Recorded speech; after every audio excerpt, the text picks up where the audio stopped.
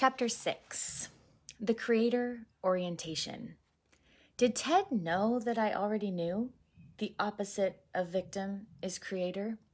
That insight had reverberated within me just yesterday as I sat on the bench praying for answers. Those words had burned themselves into my mind only moments before I discovered Ted sitting beside me. Probably just a coincidence.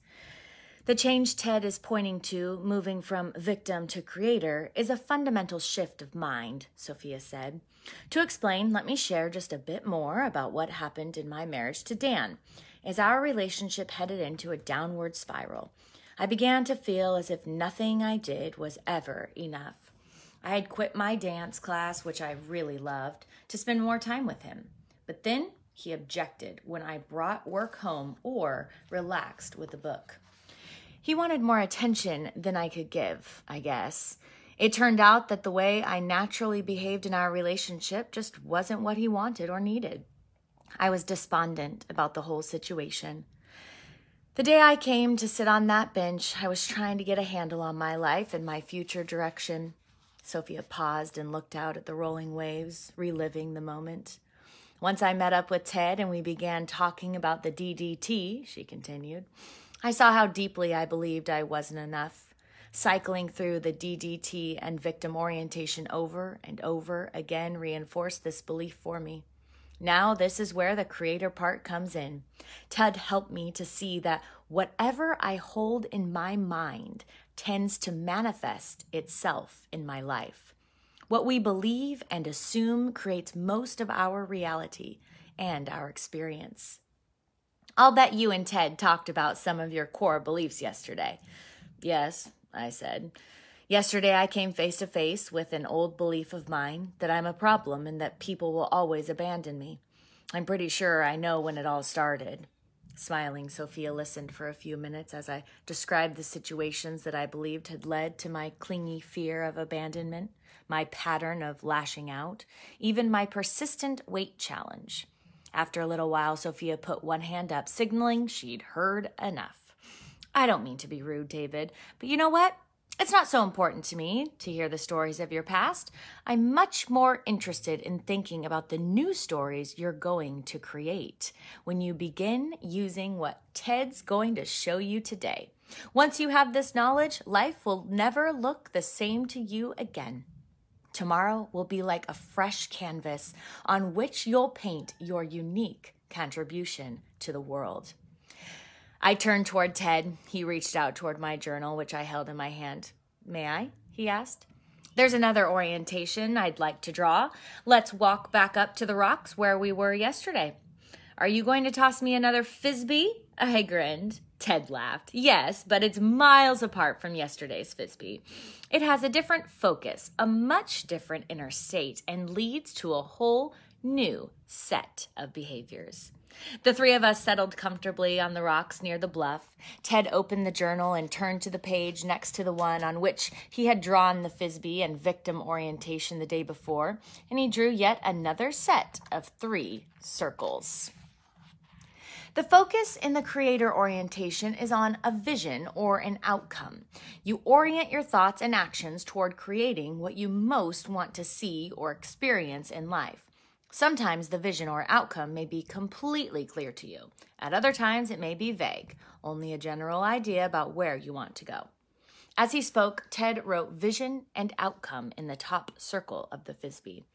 For the first few months after I met Ted, Sophia interjected, my vision was solely to live each day from the standpoint of the creator orientation. In a practical sense, I didn't really know what this was going to mean. I just knew that it was the direction I wanted for my life. Placing my attention on outcomes rather than on problems has made a world of difference. That one choice has had a powerful impact on every single area of my life. Ted added, one of the fundamental differences between the victim orientation and this one is where you put the focus of your attention, as Sophia mentioned. For victims, the focus is always on what they don't want, the problems that seem constantly to multiply in their lives. They don't want the person, condition, or circumstance they consider to be their persecutor, and they don't want the fear that leads to fight, flee, or freeze reactions either. Creators, on the other hand, place their focus on what they do want.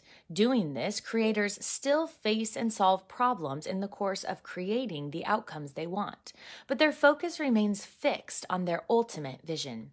I recalled a quote from the Bible that someone had recently shared with me, something like, Where there is no vision, the people perish. As I stood with Ted and Sophia, I felt the importance of this concept. I was quite clear that I didn't want to live from the victim stance anymore, but I was not yet clear about what I wanted to create. Growing up, I had learned all too well how to focus on problems. It seemed that was always the focus in my family. Not enough money, not enough time, my parents arguing, relatives who were sick or struggling. After a few moments of silence, I looked over at Sophia and Ted. I find that I know all too well what I don't want in my life. I'm not sure how to get clear about what I do want, I said. That is quite often the case when we've been sleepwalking through life in the victim orientation, Sophia responded. When we lack vision for what we want in our lives, seeing only what we don't want. The unique contribution that we're here to offer seems to vanish. In that dark place, we often can't see our way out. We hardly know which way is forward. Those first few months that Ted and I talked, all I could focus on was the creator orientation itself. I also spent quite a bit of time exploring what I most wanted to contribute to others. Later, we can talk more about discerning our life's meaning and purpose. But first, I want Ted to finish outlining the creator orientation. Ted? Thanks, Sophia. I really liked hearing your story, especially what's happening for you in the last couple of years. It makes my heart sing. David, this singing of the heart is the quality of the inner state of the creator orientation. As you focus on your envisioned outcomes, you connect with forgotten or seldom felt emotions, passion, love, a sense of your heart's desire. Ted wrote passion in the center of the second circle in the journal. He said, When you focus on those things in your life that hold meaning and purpose, your passion just naturally flows. Can you remember a time in your life when passion, desire, or love just naturally arose? Sophia asked. I thought for a moment. Well, sure, I said. Before my wife and I were married, when we were dating, we spent a lot of time just hanging out together. Back then, I only had to look at her, and those feelings just began washing over me. Mm-hmm, said Ted. You may not want to hear this, David, but that feeling may actually be more related to your experience in the victim orientation than to what we're after here. I would bet the feelings you identified then as love were also the result of your having found your next rescuer. Do you see how that might be possible? I frowned.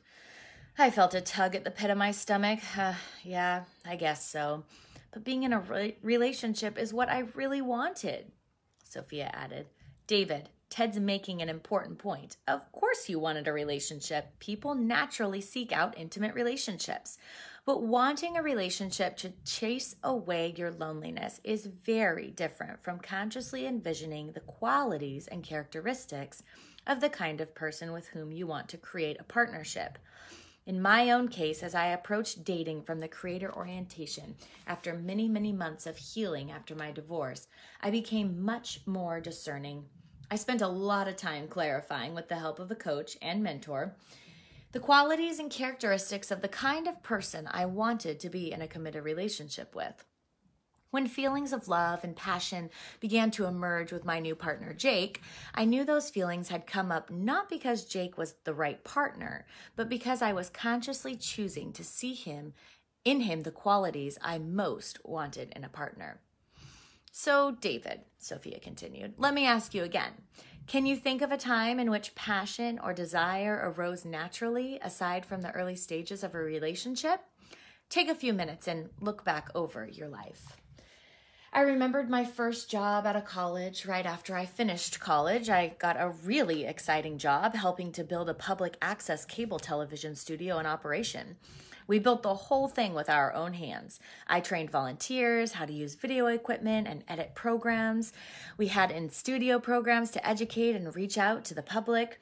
We taped area events, and we all felt that we were helping to build real community. We won national awards for our efforts. I would wake up every morning eager to get to work, to begin the day's new creations. It didn't pay much, but it was one of the most fun and exciting jobs I've ever had. Sophia smiled and said, If you could only see your eyes right now, David. Your lights are on and burning brightly. That's how passion looks and feels in the creator orientation. When you tap that passion to create the outcomes that matter to you, it provides powerful energy to take action toward your heart's desires, said Ted. The behavior that moves you in that direction is taking baby steps. Taking a baby step means doing the next logical thing in front of you making a phone call, having a conversation, or gathering information. Each step you take either moves you closer to your vision or helps you clarify the final form of your desired outcome. Ted wrote baby steps in the last circle. It is the baby steps you take, that everyday things you do, that eventually lead to the manifestation of your outcome.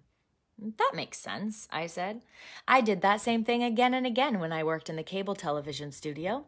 I used to love the editing process. We'd usually record more than twice the amount of footage we would need for a final videotape, and then I'd sit in the editing room for hours putting the program together one scene at a time, like a video jigsaw puzzle. I never thought of calling it baby steps, but that is definitely the process we were using to produce TV programs. Three big differences. Whether you're creating a television program, building a house, or beginning a new relationship, the basic process is the same, Sophia said.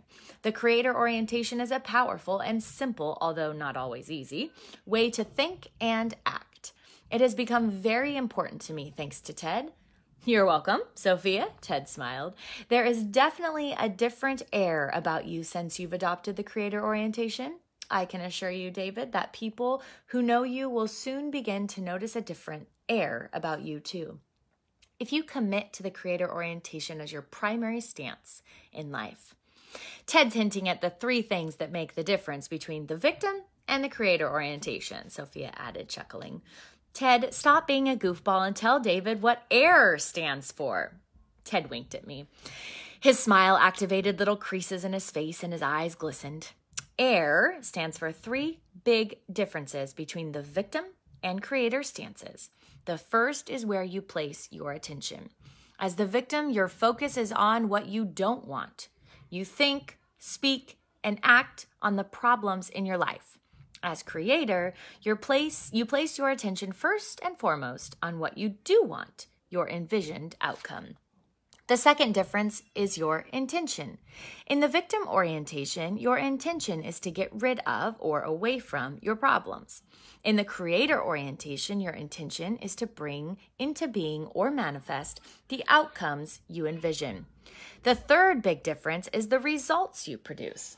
The results of the victim orientation are temporarily and reactive, or temporary and reactive. With the creator orientation, though, you're much more likely to produce satisfying, sustainable results over time. With each baby step you take from the creator stance, you come closer to or get clearer about your heart's desires. Sophia chimed in. Don't think that Ted's saying the creator orientation is all sweetness and light, or that there's no such thing as a problem. I can tell you from experience that living from the creator orientation is actually more challenging. In the victim orientation, I didn't have to exercise conscious choice. I just reacted to my circumstances. The creator orientation requires considering and choosing my response to everything that happens, taking many, many baby steps that eventually lead to manifesting my envisioned outcome. And in the process, problems certainly do come up. Ted continued. In the creator orientation, however, you cultivate the capacity to choose which problems get your attention. You select problems that will best serve your outcomes, and those are the only problems you actively work to solve. It's important to know that even when you adopt the creator orientation, you'll still experience anxiety at times. As Sophia said so well, the creator orientation is not all sweetness and light. Anxiety and fear are a natural and normal process of our experience. Creators, however, learn how to move forward in their lives with courage in the face of fear and anxiety. And there are no guarantees. Often you won't know whether your heart's desires are attainable until after you've put in a great deal of time, effort, and experimentation to make your envisioned outcome a reality. Sophia added, After Dan and I had been apart for a while, I eventually chose to be open to another intimate relationship. As I began dating, exploring what I wanted in a relationship, I came up against a lot of fear and anxiety. Sometimes I thought the conscious, co creative bond I was hoping for was just a romantic fantasy. I dated a number of men before I met Jake. Each person I met and each experience I had while I was dating helped me get clearer about the kind of relationship I wanted. A flock of pelicans flew along the shoreline just a few feet above the surf, and as I followed their flight, I wondered how long it would be before I was willing and ready to be open to a new relationship. I shuddered at the thought. I also felt a twinge of sadness as I realized I was much more certain about what I didn't want in my life than I was about what I wanted to create. Where to begin? My mind was abuzz with questions. I buried my hands in my pockets and tried to make sense of it all. I think I understand the idea of baby steps, taking the creating process one step at a time, I said, but how do you figure out which steps to take? How do you know where to start? Where do I place my focus? Sophia gave my arm a gentle squeeze. I remember so well what a jumble of questions came up when I saw how different it might be to take the creator approach to my life. About that time, I came across a wonderful passage from a letter that the great poet Rilke wrote to a younger poet he had taken under his wing. Sophia reached into her beach bag and pulled out a journal which appeared to be well worn. She opened the journal and looked for a particular page. This is what Rilke said. Be patient toward all that is unsolved in your heart and try to love the questions themselves like locked rooms and like books that are written in a very foreign tongue. Do not now seek the answers which cannot be given you because you would not be able to live them. And the point is to live everything. Live the questions now. Perhaps you will then gradually, without noticing, live along some distant day into the answer. A small sailboat bobbed out on the waves, its bright sails billowing with the sea breeze, drifting gently, serenely on the water. Give yourself plenty of time in coming to the answers for yourself, Sophia said warmly. It takes time and a lot of introspection and soul searching to get clear about what you really want to manifest in your life. People will begin to show up who will help you focus and sharpen your envisioned outcomes. In fact, Ted invited me to meet you so I could offer my support as you learn to live in the creator orientation. Others helped me to learn, and I'd be glad to help you if you want my support. As I took in Sophia's kind offer, I looked out at the ocean. To mark the sailboat's progress, the wind was up and the boat's sails were stretched tight and full. I wondered if such a small craft could sustain the pressure of so much force and speed. The crew scrambled about on deck, adjusting the rigging. I just hoped they knew what they were doing. See you next time for Chapter 7.